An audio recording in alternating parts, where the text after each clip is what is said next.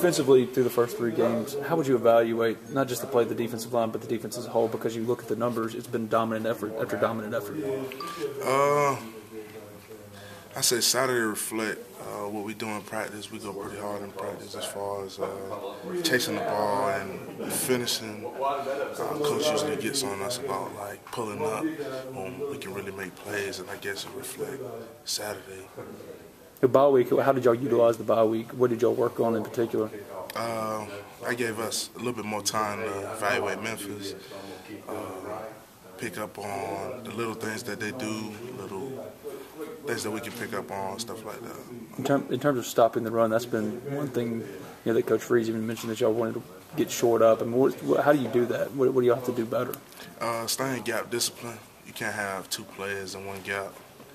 Uh, that leave holes in the defense everywhere. So try to stay disciplined. How are y'all getting the the gap issues for Dahl? Is it about eyes in the wrong place? Is it about not knowing the plays? I mean, what seems to have been a little bit of a recurring theme. How have you gotten there? Uh, every play is not for you, and that's what we struggle with sometimes. Uh, getting a little excited, getting eyes in the wrong places, but uh, we've been staying pretty disciplined lately everyone trying to make that big play instead of just do your job on that play. Yeah, that's basically how it goes. What, what have you seen from Memphis? What do they What do they like to do on offense?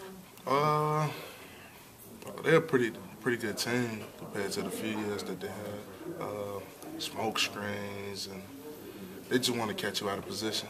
So we make sure that we have to make sure that we stay disciplined in this game for sure. You've been around, I guess, a year now in the program and the defense. How comfortable are you now in, in terms of the defense and you know everything that you're asked to do? I feel pretty good. Uh, it's definitely a whole lot slower now than what it was for me when I first got here. I thought everything was moving so fast, but once you learn the, the overall defense and get a feel for it, it's kind of it makes it real simple for you. What have you seen from Channing this year?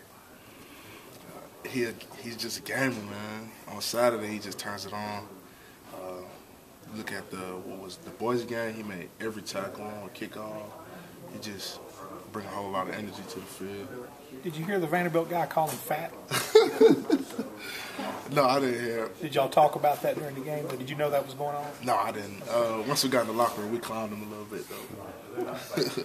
you came, you came here to be part of a big pro- football program. I mean, you're playing the big role. Your guys number ten. Is it everything that you thought it was going to be?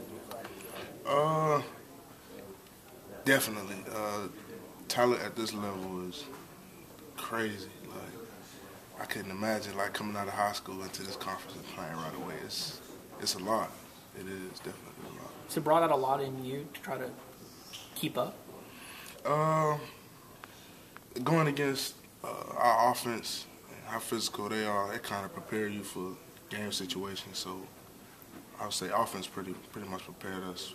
I know you got asked this already, but I wasn't here. So uh, talk about Memphis and you know, what you've seen from them. And um, I mean,